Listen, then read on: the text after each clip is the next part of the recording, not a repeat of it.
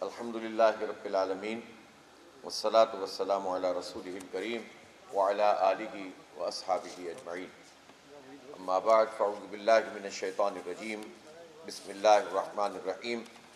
یا ایہا الذین آمنوا کونوا قوامین للہ شہداء بالقسط. صدق اللہ علیہ العظیم. بہت ہی قابل احترام جناب پروفیسر محمد ابراہیم صاحب، امیر جماعت اسلامی خیبر پختونخوا، برادر محترم شاہ فیصل آفریدی صاحب، چیئرمین تحریک حقوق قبائل، اور میرے بہت ہی قابل احترام عمائدین کرام جو باجوڑ ایجنسی سے، محمد ایجنسی سے، خیبر ایجنسی سے اور ایجنسی سے، کرم ایجنسی سے شمالی وزیرستان اور جنوبی وزیرستان سے یہاں پر تشریف لائے ہیں۔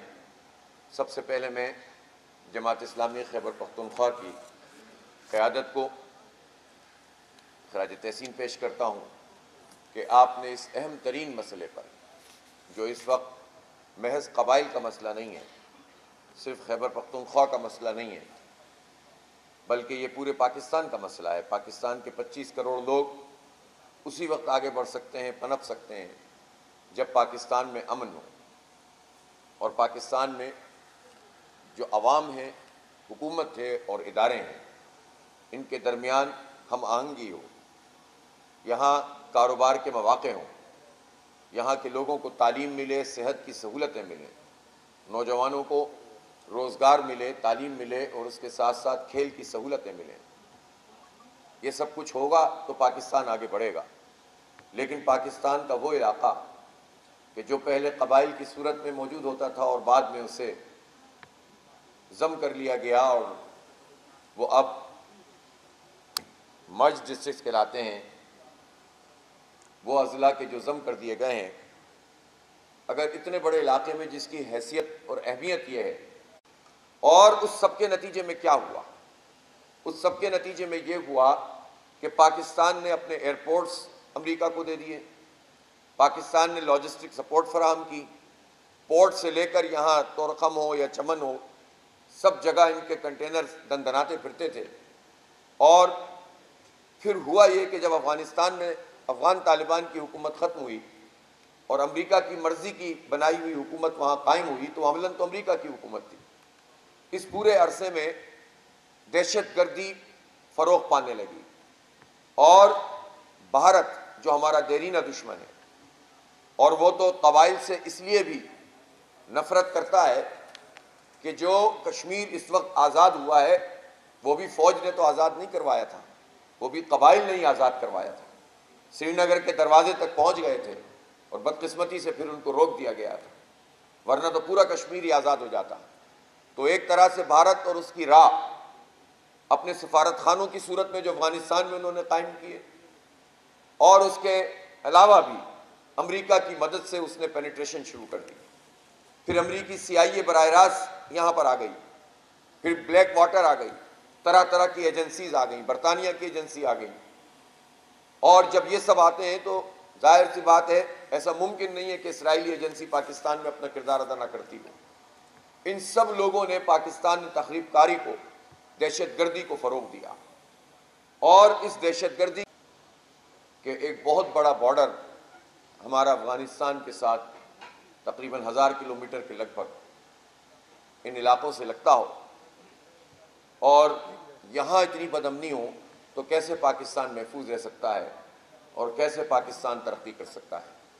اس لیے یہ بہت اہم معاملہ ہے اور اس اہم معاملے جتنا سنجیدہ ہے میں آپ کو خراج تحسین پیش کرتا ہوں کہ آپ نے سنجیدہ مسئلے پر اتنا اچھا یہاں ایک جرگہ منعقد کیا ہے۔ اللہ تعالیٰ اس میں سے خیر و برکت عطا فرمائے۔ اور میں یہ ضرور سمجھتا ہوں کہ جتنی باتیں یہاں پر ہوئی ہیں، جو اردو میں ہوئی ہوں جو پشتوں میں ہوئیں، پشتوں بھی کچھ نہ کچھ تو سمجھ میں آ جاتی ہے، کیونکہ کافی عرصے سے آپ سب لوگوں سے ایک تعلق ہے۔ ویسے میرا تعلق شہر کراچی سے اور شہر کراچی پختونوں کا سب سے بڑا شہر ہے۔ اس لیے ہم یہ سمجھتے ہیں کہ یہ جو گفتگو یہاں پر کی گئی ہے، یہ بہت اہم گفتگو ہے اور یہ کسی کے حق اور کسی کے خلاف کی بات نہیں، ایک اصولی بات ہے۔ ہمارے ہاں مسئلہ یہ ہو گیا ہے کہ جس کے پاس طاقت ہوتی ہے، بندوق ہوتی ہے۔ اور بندوق کی طاقت قبائل سے زیادہ کس کے پاس، کس کو سمجھ میں آتی ہے؟ لیکن ہمارے یہاں مسئلہ یہ ہے کہ بندوق حاصل کر کے اگر کوئی یہ سمجھتا ہو کہ اسی کی بات بس چلنی چاہیے تو وہ تو مناسب نہیں ہے۔ تو ہم اپنی فوجی ادارے سے بھی یہ کہنا چاہتے ہیں کہ وہ یہ نہ سمجھیں کہ آج اگر آپ طاقت کی وجہ سے لوگوں کو خاموش کرا لیں گے تو آپ مسئلہ حل کر رہے ہیں، آپ مسئلہ بگاڑ رہے ہیں۔ تو آپ کو سنجیدگی سے بیٹھنا پڑے گا۔ یہ پولیٹیکل مسئلہ ہے، اس پولیٹیکل مسئلے کو اچھے طریقے سے حل کرنا پڑے گا۔ اور یہ فوج کے بھی حق میں ہے اور قوم کے بھی حق میں ہے کہ یہ مسئلہ آپس میں گفت و شنید سے، مذاکرات سے، اتحاد اور اتفاق سے اور یکجہتی سے حل ہو۔ ورنہ جتنی دوریاں فوج اور عوام کے درمیان بڑھتی جا رہی ہیں، یہ فوج کے لیے بھی بہت خطرناک ہے قوم کے لیے بھی اور پاکستان کے لیے بھی۔ دو ہزار ایک میں جب امریکہ اس خطے میں آیا اور اس نے افغانستان کی حکومت کو الٹ کر پلٹ کر اپنی مرضی کی حکومت قائم کی اور بہت بڑی جنگ میں اس پورے خطے کو ایک آگ میں اس نے مبتلا کر دیا تو بدقسمتی سے اس وقت جنرل مشرف کی حکمرانی تھی۔ وہ ڈکٹیٹر تھا اور اس نے امریکی سیکرٹری آف اسٹیٹ جو اس وقت کولن پال تھا، وزیر ہاں کولن پال، اس کے ایک فون آیا اور کولن پاول نے سات شرائط اس کو بتائیں۔ ان سے کہا کہ بھائی ہماری یہ سات باتیں مان لیں۔ کولن پاول کا خود کہنا یہ تھا بعد میں کہ دنیا میں اس طرح سے ہوتا ہے کہ جب ہم کوئی بات منوانا چاہتے ہیں تو زیادہ باتیں بتاتے ہیں اور پھر بارگیننگ ہوتی ہے اور اس کے نتیجے میں چند باتیں مان لی جاتی ہیں۔ لیکن جنرل مشرف نے تو ایک فون پر سات کی سات باتیں مان لی کے نتیجے میں جو پاکستان کے ایک ڈکٹیٹر کے ایک فون پر ڈھیر ہونے کے نتیجے میں پیدا ہوئی۔ اس سے پہلے یہ پورا بارڈر ہمارا سیکیور تھا، محفوظ تھا۔ کوئی پرابلم ہی نہیں تھی۔ بہت آسانی کے ساتھ جو ہے سب لوگ زندگی گزارتے تھے۔ اور یہ بارڈر کھلا ہوا بھی تھا ٹریڈ بھی ہوتی تھی بہت آزادانہ طریقے سے۔ اگر کہیں ریگولیشنز کی ضرورت تھی تو وہ حکومت کا کام تھا، وہ کر سکتے تھے۔ لیکن امن و امان بالکل ٹھیک تھا۔ لیکن ہوا یہ کہ پھر اتنی بدمنی ہوئی کہ اب یہ تعداد تقریباً ایک لاکھ لوگوں کی ہو گئی ہے پچھلے تیئیس سال میں، جو اس دہشت گردی کی وجہ سے اور پھر کاؤنٹر ٹیررزم کے نام پر یا کولیٹرل ڈیمیج کے نام پر اتنے سارے لوگ جو ہوئے پاکستان میں ہلاک ہو گئے ہیں، جاں بحق ہو گئے ہیں۔ اس میں کتنے فوجی جوان بھی شامل ہیں۔ اور اس وقت بھی یہ عمل جاری ہے۔ یہ کسی اور وجہ سے نہیں ہوا، یہ امریکہ کا ساتھ دینے کی وجہ سے ہوا ہے۔ پاکستان نے پاکستان کی جنگ نہیں لڑی، بلکہ امریکہ کی جنگ لڑی اور پاکستان کے خلاف لڑی ایک طرح سے۔ یہ ہماری بدقسمتی ہے کہ ہماری فوج ایک طرح سے امریکہ کے پٹے پہ دے دی گئی۔ اور اس کی لگام اس کے ہاتھ میں تھی کہ جو چاہیں وہ کرتے رہیں یہاں پر۔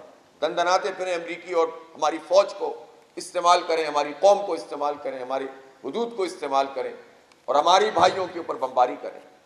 اور یہ تک صورتحال اس وقت ہوئی کہ پاکستان کی اس وقت کی حکومت نے جو بزوں میں خود قائم ہوئی تھی، سفارتی آداب کو بھی ملوز نہیں رکھا۔ آج ہمیں بہت کہا جاتا ہے کہ سفارتی آداب ہونے چاہیے، ایسا ہونا چاہیے، ویسا ہونا چاہیے۔ وہ کون سے سفارتی آداب تھے جس میں ملا ضعیف کو اس طرح سے جو ہے وہ گرفتار کیا گیا تھا اور تشدد کیا گیا تھا اور امریکیوں کے حوالے کتنے لوگوں کو کر دیا گیا تھا؟ تو ظاہر سی بات ہے کہ یہ جو سب کچھ کام ہوا، اس نے پاکستان اور افغانستان کے قوم کے درمیان تعلقات کو بھی خراب کیا۔ میں یہ ضرور کہنا چاہتا ہوں کہ افغانستان کی سرزمین کو کبھی بھی پاکستان کے لیے، پاکستان کے خلاف استعمال نہیں ہونا چاہیے۔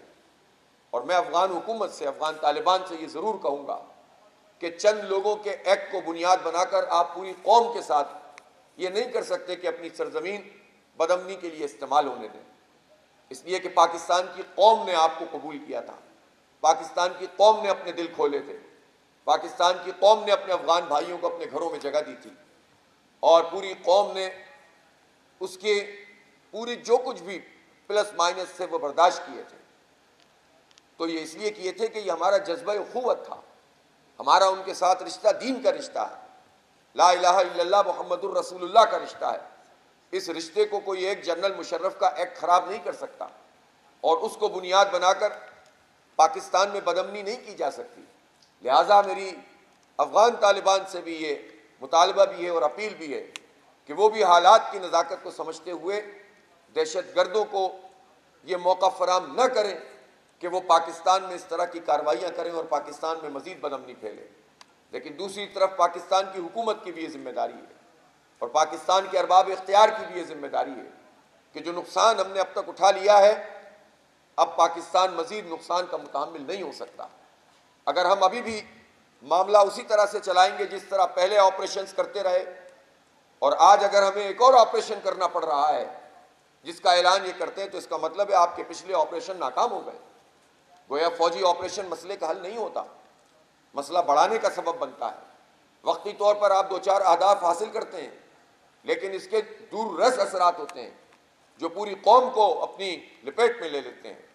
اس لیے ہم حکومت سے یہ کہتے ہیں کہ افغانستان کی حکومت کے ساتھ بامانی مذاکرات کیے جائیں۔ ان کے ساتھ بیٹھیں، ان کی بات سنیں، اپنی بات کہیں۔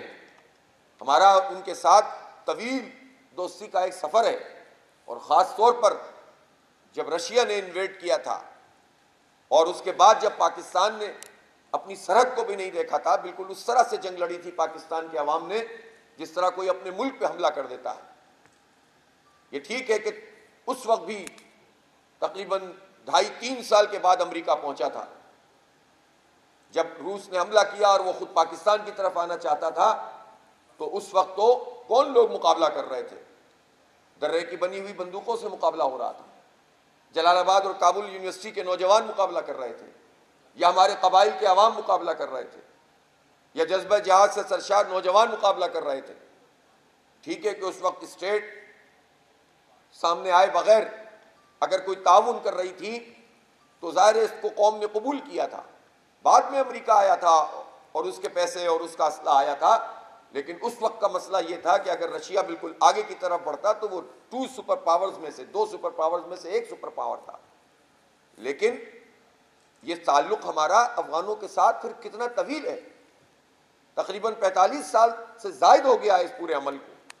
اب اس پورے عمل میں صرف چند لوگوں کی عاقبت اندیشی اس کے نتیجے میں یہ بھائی چارہ ختم ہو جائے، یہ قوت کا رشتہ ختم ہو جائے، یہ ہماری قربانیاں ایک طرف رہ جائیں اور یہ پورا خطہ آگ کی لپیٹ میں آ جائے، تو کس کا نقصان ہے؟ تو افغان طالبان کو بھی سمجھنا ہوگا اور پاکستان کی حکومت اور ریاست کو بھی سمجھنا ہوگا کہ اب یہ خطہ، یہ مزید کسی آگ کا متحمل نہیں ہو سکتا۔ دونوں کے پاس کوئی دوسرا علاج نہیں ہے سوائے اس کے کہ بات چیت کریں۔ اس سلسلے میں اگر حکومتوں میں یہ اہلیت نہیں ہے، پاکستان کی حکومت اگر اپنے آپ کو یہ سمجھتی ہے کہ اس سے بات نہیں ہو رہی، تو پھر وہ جو لائک مائنڈڈ لوگ ہوتے ہیں، جو یہ مسئلہ حل کر سکتے ہیں، ان سے بات کریں۔ جماعت اسلامی اپنے آپ کو پیش کرتی ہے۔ مجھے یقین ہے کہ جب سنجیدہ طریقے سے گفتگو شروع ہوگی، تو کسی نہ کسی اچھے انجام تک پہنچے گی۔ اس میں ہم اپنی پیشکش کرتے ہیں کہ یہ مسئلہ اتنا غیر سنجیدہ نہیں ہے کہ اس کو ٹالتے رہیں اور لڑتے رہیں اور مارتے رہیں اور دشمن ہمیں ہٹ کرے اور ہٹ کرنے کے بعد بھاگ جائے اور ہم بمباری کریں اور اپنے ہی مویشی جلا دیں، اپنی ہی بستیوں کے اوپر بم پھینک دیں، تو اس سے کس کو فائدہ ہے؟ کسی کو بھی فائدہ نہیں ہے۔ لہذا مسئلے کو حل کیا جائے۔ میں اس بات کی بالکل تائید کرتا ہوں کہ افواج پاکستان کا کام ہماری سرحدوں کی حفاظت ہے۔ افواج پاکستان کا کام پورے پاکستان کو تحفظ فراہم کرنا ہے، سرحدوں کو محفوظ کر کے۔ لیکن افواج پاکستان جب سویلین ہماری فورسز کا کردار ادا کرتے ہیں، جب پولیس کا کردار ادا کرنے لگے، تو پھر اس کے نتیجے میں یہ معاملہ حل ہوتا نہیں ہے، بگڑتا چلا جاتا ہے۔ اور ہمارا طویل تجربہ ہے اس معاملے میں۔ لہٰذا افواج پاکستان کو اس کو ریئلائز کرنا ہوگا اور حکومت کو ریئلائز کرنا ہوگا۔ بجائے اس کے کہ لوگ جرگہ بنائیں، احتجاج کریں، گولیاں چلیں، پھر جرگہ بنائیں اور پھر طے کریں کہ افواج کو وہاں سے نکال لیا جائے۔ یہ نوبت نہیں آنی چاہیے۔ اور اس میں آپس میں تقسیم کار ہو، کیوں ہماری پولیس اتنی اسمارٹ نہیں ہے؟ کیوں وہ چیزوں کو ہینڈل نہیں کر رہی؟ اس کو امپاور کرنا چاہیے۔ اس کو با اختیار بنانا چاہیے۔ اس کی تطہیر کرنی چاہیے۔ اس کے اندر جو اتنی خرابیاں ہیں اس کو دور کرنی چاہیے، بجائے اس کے کہ اتنا بڑا محکمہ ایک طرف کر کے افواج خود آ جائیں، تو اس سے کس کو فائدہ ہوتا ہے؟ خود فوج کو نقصان ہوتا ہے۔ ہو سکتا ہے فوج کے کچھ لوگ ان حالات سے فائدہ اٹھا کر کرپشن کرتے ہوں، لوٹ مار کرتے ہوں۔ ان کے پیش نظر منرلز ہوں، ان کے پیش نظر خزانے ہوں، ان کے پیش نظر بارڈر کی کرپشن ہو جیسا کہ ہوتی ہے۔ لیکن چند لوگوں کی وجہ سے پوری فوج بدنام ہو، تو پھر یہ کس کی ذمہ داری ہے؟ یہ فوجی سربراہ کی ذمہ داری ہے کہ اپنی ہی فوج کو بدنام کرنے کا جو لوگ سبب بن رہے ہیں، پھر ان کو کیفر کردار تک پہنچائیں۔ ورنہ پھر لوگ یہ کہیں گے کہ فیض حمید کے خلاف ایکشن پھر پولیٹیکل ایکشن ہے۔ اگر کرپشن کی وجہ سے ان کو پکڑا گیا ہے، تو پھر آپ ایف سی کے وہ سارے ذمہ داران پچھلے کئی دہائیوں سے جنہوں نے اربوں روپے کی کرپشن کی ہے، ان کو کیوں نہیں کٹہرے میں لے کر آتے ہیں؟ اس وقت بھی جتنی چیزیں عمومی طور پر رائج ہیں ان سب چیزوں کا نوٹس کیوں نہیں لیا جاتا؟ تو ہمیں توقع ہے، چلیں اب بھی کہ ہمارے آرمی چیف اپنے ان سارے افسران کو بھی ان کی گرفت کریں گے کہ جو اس وقت فوج کی بدنامی کا سبب بن رہے ہیں۔ کرپشن صرف سویلینز نہیں کرتے ہیں، سب کرتے ہیں۔ اسی لیے پاکستان تباہ برباد ہوتا ہے۔ اس لیے کرپشن فری پاکستان کرنا ہے تو سب کو اپنا اپنا کردار ادا کرنا پڑے گا۔ جو جہاں روک سکتا ہے، روکے گا۔ جو اپنا حصہ چھوڑ سکتا ہے چھوڑے اس کرپشن کا حصہ۔ تب لوگوں کو اعتماد ملے گا، ورنہ صرف باتیں کرنے سے مسئلہ حل نہیں ہوتا۔ طاقت کے استعمال سے رٹ قائم نہیں ہوتی۔ پورے ملک میں یہ رٹ قائم ہو نہیں پا رہی ہے۔ بندوقوں سے کبھی بھی پوری پوری کروڑوں انسانوں کو ہینڈل نہیں کیا جا سکتا۔ اس لیے سنجیدگی سے اس مسئلے کو حل کیا جائے اور قبائل کے مسئلے کو ترجیح ایڈریس کیا جائے۔ قبائل کا مسئلہ کیا ہے؟ جو زم ڈسٹرکٹس ہیں ان کا۔ ان کا مسئلہ یہ ہے کہ کوئی ایک یونیورسٹی بھی ان تمام جو ہے وہ قبائلی علاقوں میں موجود نہیں ہے جو اب ڈسٹرکٹ بن چکے ہیں۔ کوئی ایک میڈیکل کالج بھی موجود نہیں ہے۔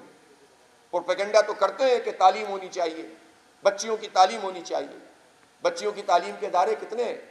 یہ پورا عرصہ جو دہشت گردی کی لپیٹ میں رہا، تو آپ کو اندازہ ہونا چاہیے کہ تقریباً پندرہ سو اسکول ایسے تھے جو مکمل طور پر یا پارشلی ڈیمیج ہوئے تھے۔ کیا ان پندرہ سو اسکولوں کو پوری طریقے سے تعمیر کر دیا گیا؟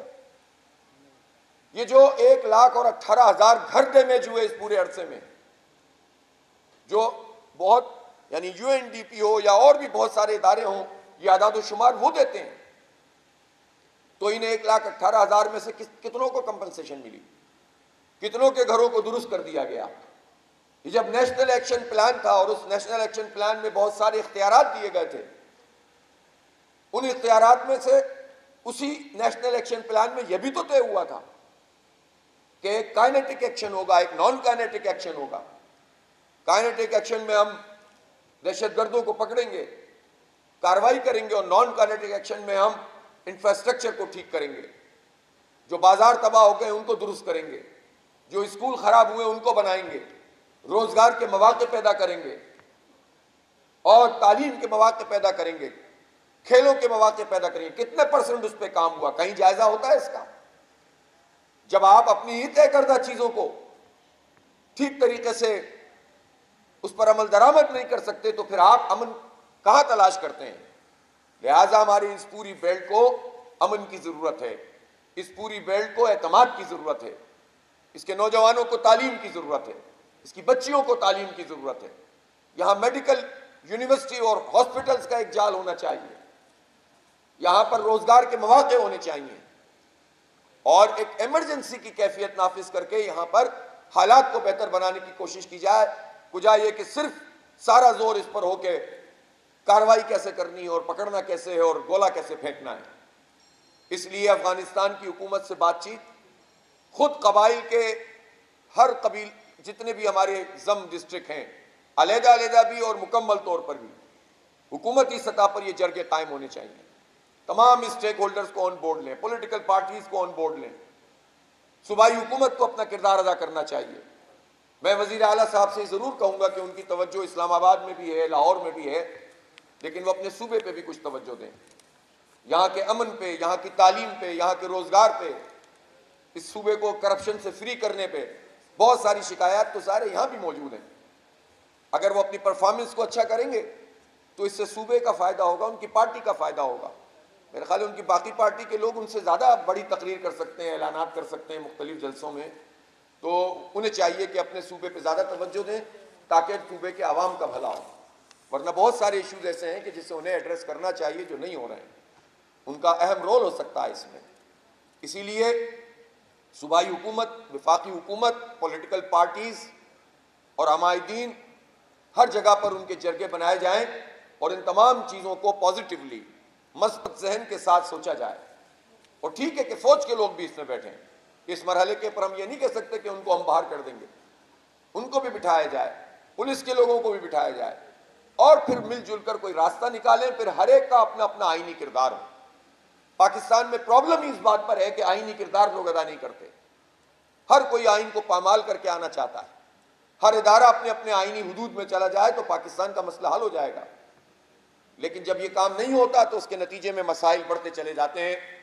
میں ایک مرتبہ پھر اپنے تمام دوستوں کا جو یہاں پر تشریف لائے ہیں، ہمارے عمائدین یہاں پر آئے ہیں اور انہوں نے اپنے اپنی جو تجاویز سے اس پورے جرگے کو نوازا ہے، ان کا شکریہ ادا کرتا ہوں۔ اور میں یہ ضرور کہنا چاہتا ہوں کہ دیکھیں، جمہوری حکومتیں اپنے آپ کو جمہوری تو بہت کہتی ہیں۔ لیکن ان کا طرز عمل اس طرح کا ہوتا نہیں ہے۔ اب اگر یہ جو فوج یہاں پر آئی تھی یا اتنے سارے ایکشن ہوئے تھے، تو ایک طرف تو وہ پورا عرصہ تھا کہ جب دو ہزار ایک سے لے کر یہ دہشت گردی کے خلاف جنگ کا معاملہ ہوا اور پھر اس کے بعد دو ہزار چار کے بعد جس کا پروفیسر صاحب نے تذکرہ کیا کہ یہاں دہشت گردی کے خلاف ایکشن شروع ہوئے۔ لیکن پھر دو ہزار دس میں جب زرداری صاحب پہلی مرتبہ صدر تھے، تو اس وقت انہوں نے action in aid of civil power regulation اس کو سائن کیا تھا۔ اور یہ سلسلہ چلتا رہا۔ اور پھر اس کے بعد دو ہزار سترہ یا اٹھارہ میں اس وقت کے پریسیڈنٹ صدر عارف الوی صاحب نے یہ کام کیا۔ پھر تو فیضیاب ہوئی اسمبلی بھی۔ سندھ اسمبلی نے بھی جو ہے وہ قانون پاس کیا کہ ہمیں ضرورت ہے اس بات کی۔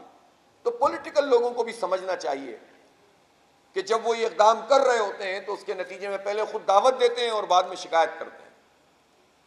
تو پھر اس کے بعد میں عنایت صاحب کو اس پہ خراج تحسین پیش کرتا ہوں کہ انہوں نے اس کی مخالفت کی تھی۔ اس وقت بھی مخالفت کی۔ یہ جانتے تھے کہ وقتی طور پر جو چیز سب کو اچھی لگ رہی ہوتی ہے اور سب خوشنودی حاصل کر رہے ہوتے ہیں، بعد میں کتنی مصیبت بن جاتی ہے سب کے لیے۔ لیکن یہ ساری پارٹیاں اس طرح کے کام کرتی ہیں اور اس کے نتیجے میں سب بھگتتے ہیں۔ ہم تصادم کی بات نہیں کرتے، ہم منافرت کی، نفرت کی بات نہیں کرتے، ہم تعصب کی بات نہیں کرتے۔ پورے پاکستان کو اس مسئلے پر گفتگو کرنی چاہیے۔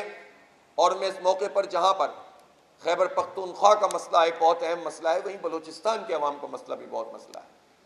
اگر بڑی تعداد میں لاپتہ افراد موجود ہوں اور خود یہاں خیبر پختونخوا میں اور زم اضلاع میں یہ صورتحال ہے اور رہی ہے، جب بڑی تعداد میں لوگ لاپتہ ہوں اور کوئی ان کا پوچھنے والا نہ ہو اور حکومت جو ہے وہ لوگوں کو بنیادی سہولتیں نہ دے رہی ہو تو پھر اس کے نتیجے میں غم و غصہ پیدا ہوتا ہے، نفرتیں پروان چڑھتی ہیں اور پھر پھر یہ نفرتیں کچھ طاقتیں استعمال کرتی ہیں۔